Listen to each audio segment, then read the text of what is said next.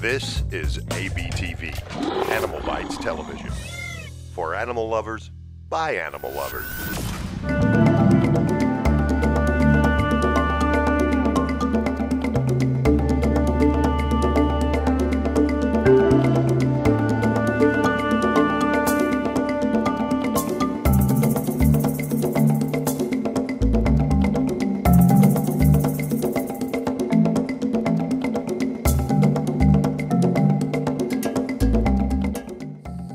Greg Graziani, and I've always been fascinated by reptiles, from the tiniest fragile little creatures to the enormous deadly apex predators and everything in between.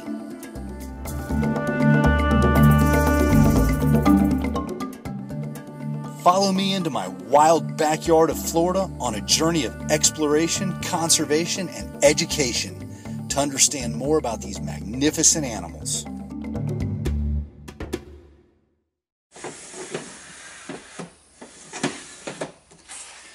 You know, on today's episode of The Python Hunter, I think I'm going to take a break from working inside and see what I can find outside. It's time for the Python Hunter question of the week. How many different skink species are there? A. Over 1,500? B. 500? Or C. Under 50 different species? Go ahead and post your answer in the comment section down below and stay tuned for the answer later on in the show. Oh, something just went into that wood pile right there.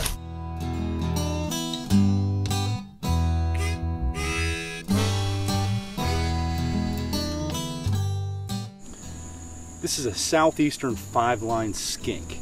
And, you know, most of the shows that we do are these giant, dangerous, you know, big reptiles. But these little seclusive animals are so cool. Check out how this skink slides right into the ground as it burrows. It lays its legs along its body and slithers through the dirt like a snake in the water. Although they are mainly a terrestrial animal, they will take to the trees if molested on the ground and also to find insects like ants and termites to eat.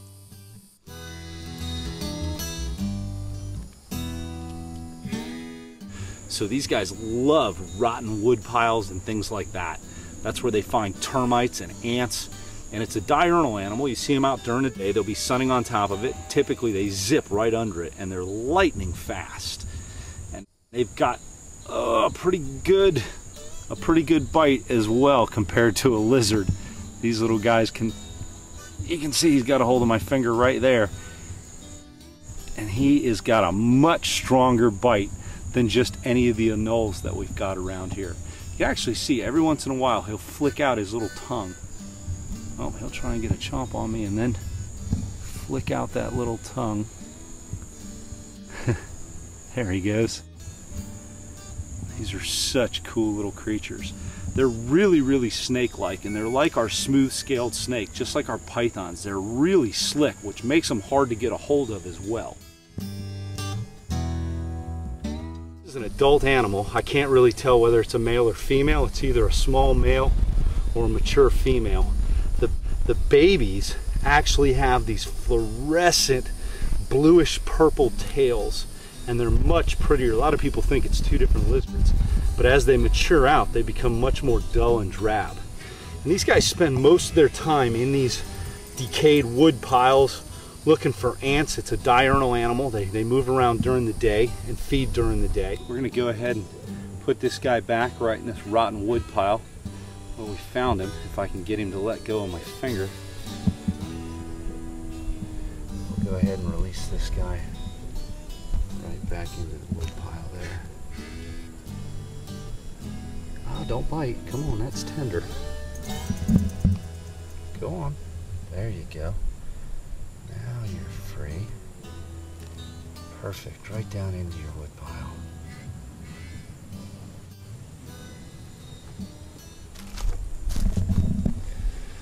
So we've let that little guy go back into the wood pile there. Well, he'll go ahead and finish eating on these oak ants and termites and whatever else he finds in there. Hopefully he doesn't bump into a coral snake because that's one of the uh, main diets of the eastern coral snake in this area.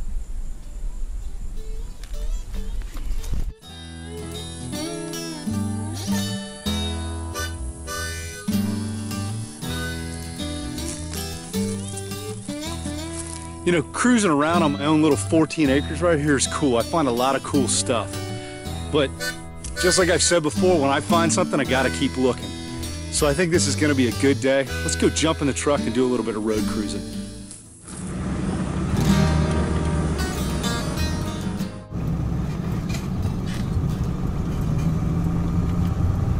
Looks like there's something right up there on the road. It's a roadkill, man, this time of day most of the time. These animals are dead. No, it's a snake. It's definitely a snake.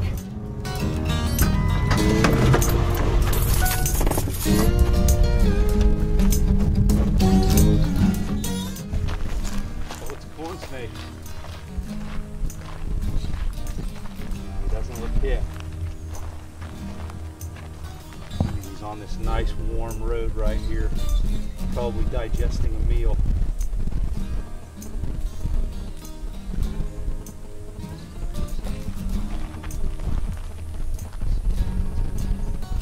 No. Now he wants to get away.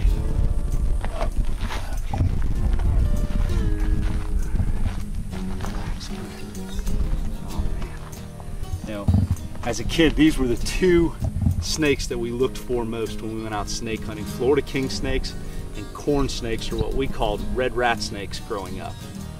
And uh, these were the two that we always wanted to capture. The pet stores paid by the foot for these guys. You know, they only gave us four or five dollars a foot for them, but um, these were really what we really wanted to catch when we went out. And the markings on this animal is really, really cool. This is kind of a dull corn snake for this area right here.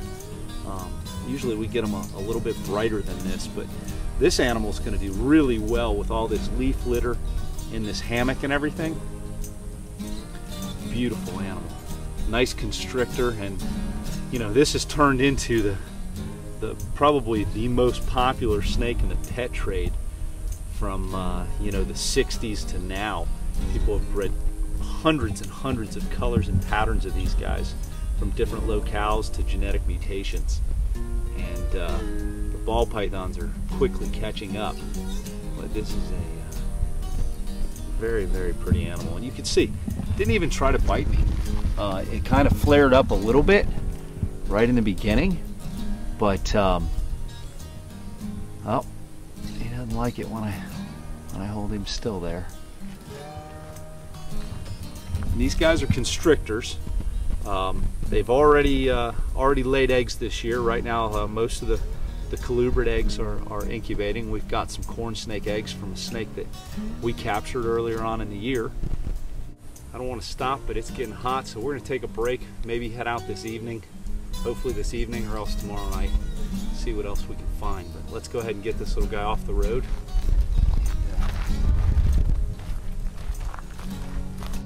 Just look how well this snake blends into the camouflaging background here when we let this snake go. You know, from a distance, you wouldn't even see that snake. Off you go.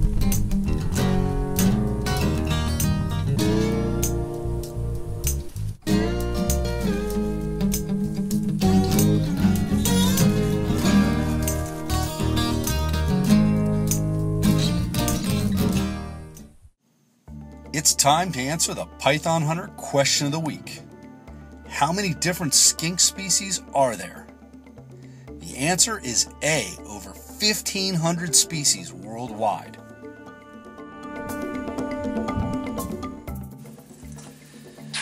You know, as much as I love working with my captive collection, I still got to get out into the wild and see what I can find. Unlike the enclosures where I know where everything is in here, out in the wild, I'm always one second away from finding something cool and new. That'll do it for this week's episode of The Python Hunter. Don't forget to follow us on Facebook and Twitter. Feel free to leave a comment down below. Let us know what you thought about the show. We'll see you next week.